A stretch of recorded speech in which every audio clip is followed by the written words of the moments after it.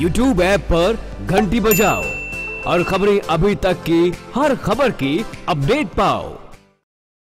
तो पीएम नरेंद्र मोदी बागपत से लाइव तस्वीरें आपको दिखा रहे थे, जहाँ पर पीएम नरेंद्र मोदी बीजेपी की उपलब्धियाँ गिनवा रहे थे। चलिए अब रुक करते हैं हिमाचल की खबरों का। राजधानी शिमला में रविवार को पॉलिथीन हटाओ, पर्यावरण बचाओ कार्यक्रम का आयोजन किया गया और कार्यक्रम में मुख्यमंत्री जयराम ठाकुर ने मुख्य अतिथि के रूप में शिरकत की और इस दौरान उन्होंने स्कूली बच्चों को पॉलिथीन का प्रयोग नहीं करने की शपथ भी दिलाई।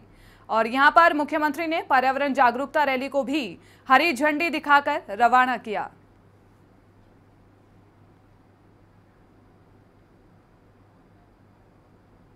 पॉलीथीन हटाओ, पर्यावरण बचाओ।